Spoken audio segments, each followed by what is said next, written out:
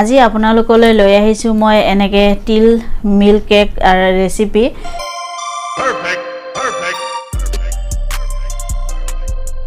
বেছি বস্তু দৰকাৰ নহয় তিনিবিধ বস্তু দি আপোনালোকক মই এই তিলৰ মিল্ক কেকটো বনাই দেখুৱাম আৰু খাবলৈও খুব ভাল হ'ব এই কেকটো।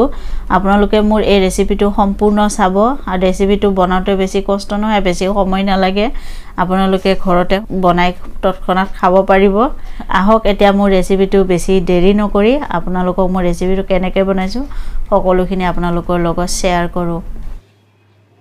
এনেকৈ মই তিল মিল্ক কেক বনাবৰ কাৰণে মই গেছত এনেকৈ কেৰাহী বহাই দিছোঁ।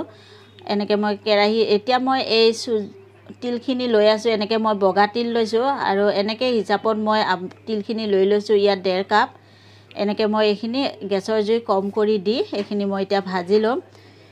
বেছি গেছৰ জুই দিব নালাগে কম গেছৰ জুই দি এইখিনি ভাজিব লাগিব। আৰু এনেকৈ চাওক মোৰ তিলখিনি ফুলি ফুলি আহিছে মানে মোৰ হৈ গৈছে এইখিনি। এতিয়া মই গেছ বন্ধ কৰি দি এইখিনি নমাই ল'ম। এনেকৈ মই নমাই ল'লোঁ চাওক আৰু মই এইখিনি ঠাণ্ডা হোৱাৰ পিছত মিক্সিত পিচি লৈছোঁ। এনেকৈ মই মিক্সিত পিচি লৈছোঁ চাওক। মিক্সিত এনেকৈ পিচি পেলাই আপোনালোকে ল'ব আৰু এইখিনি অকণমান পিচিব এবাৰ এবাৰ বন্ধ কৰিব আকৌ পিচিব এনেকৈ কৰি ল'ব।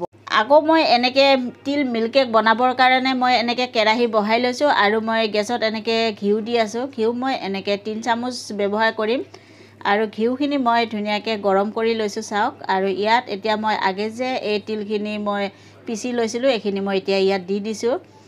আৰু এইখিনিও মই গেছৰ জুই কম কৰি দি ভাজি ল'ম।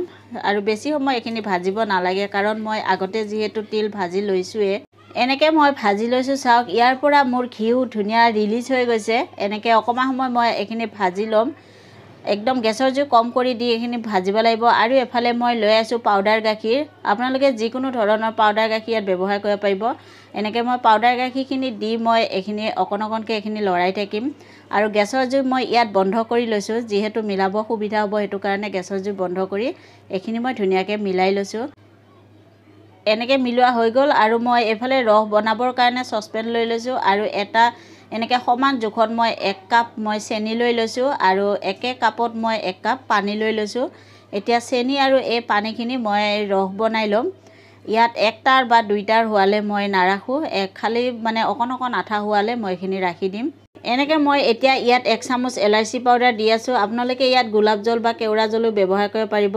আৰু এইখিনি মই অকণমান সময় গেছৰ জুই বেছিকৈ দি বহাই ল'ম। আৰু এইফালে মই এখন থাল লৈ লৈছোঁ। থাল যিহেতু সকলো ঘৰতেই থাকে এইখিনি কাম আপোনালোকে সোনকালে কৰিব। আৰু মই ইয়াত এনেকৈ ঘিউ সানি লৈছোঁ। আৰু এনেকৈ মই চেনি ৰসখিনি চাওক মোৰ আঠা আঠা হৈ আহিছে। আৰু অকণমান সময় মই এইখিনি হেৰি কৰি ল'ম। আৰু এনেকৈ চাওক মই আপোনালোকক দেখুৱাই আছোঁ। চেনি ৰসখিনি এনেকৈ অকণমান আঠা হোৱালে ৰাখিব লাগিব। আৰু এনেকৈ হৈ গৈছে মোৰ মানে এতিয়া মই এইখিনি গেছ বন্ধ কৰি এতিয়া এইখিনি নমাই ল'ম। আৰু আগতে যে মই এইখিনি লৈ লৈছিলোঁ থৈ দিছিলোঁ মই তিলখিনি এনেকৈ মই তিলত এতিয়া এইখিনি মিলাই ল'ম চেনি ৰসখিনি এনেকৈ চাওক মই সম্পূৰ্ণ মিলাই ল'ম। গেছ কিন্তু মই এতিয়াও ব্যৱহাৰ কৰা নাই। আৰু এনেকৈ মোৰ হৈ গৈছে চাওক মই এতিয়া গেছত এইখিনি দি ভাজি ল'ম। এনেকৈ অকণমান সময় মই এইখিনি ভাজি ল'ম। চাওক কেৰাহীৰ পৰা মোৰ এৰাই গৈছে মানে আৰু অকণমান সময় এনেকৈ ভাজিব লাগিব। আৰু চাওক এনেকৈ কেৰাহীত মোৰ ধুনীয়াকৈ এৰাই গৈছে। আৰু আপোনালোকক মই দেখুৱাই আছোঁ চাওক এখন থালত মই এনেকৈ অকণমান উলিয়াই লৈ লৈ লৈছোঁ। আৰু ঠাণ্ডা হোৱাৰ পিছত চাওক এনেকৈ লাড়ু লাড্ডু বনাব পৰা হৈ গৈছে। মানে মোৰ এইখিনি ভজা হৈ গ'ল। এতিয়া মই এইখিনি মই নমাই ল'ম।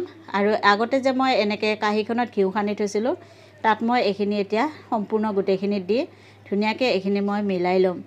এনেকৈ মই ধুনীয়াকৈ মিলাই লৈছোঁ।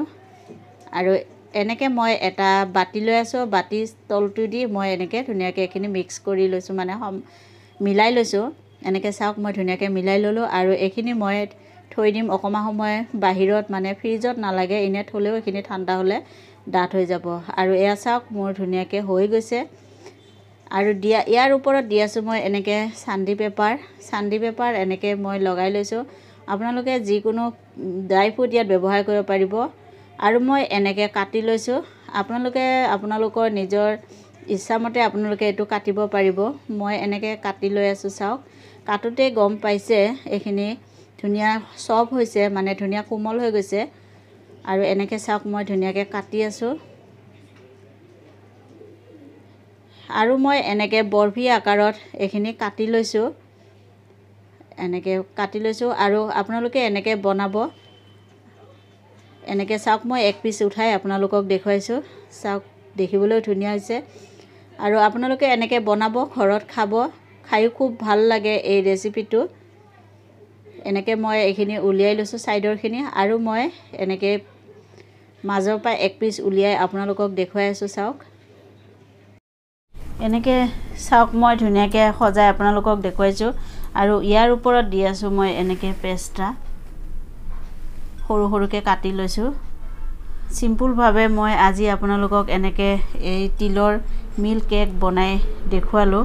তিল দি একদম সহজ ৰেচিপি বেছি বস্তু দৰকাৰ হোৱা নাই। তিনিবিধ বস্তু দি আপোনালোকক এনেকৈ মই বনাই দেখুৱাইছোঁ আৰু আপোনালোকে এনেকৈ বনাব বনাই খাব। খায়ো খুব ভাল লাগে এই ৰেচিপিটো এনেকৈ মই সম্পূৰ্ণ দি ল'লোঁ চাওক। দেখিবলৈ ধুনীয়া হৈছে। দেখিবলৈ ধুনীয়া হৈছে চাওক। এনেকৈ মই সজাই দেখুৱাইছোঁ আৰু এক পিচ আপোনালোকক ভাঙি দেখুৱাই আছোঁ চাওক। একদম ধুনীয়া কোমল হৈছে।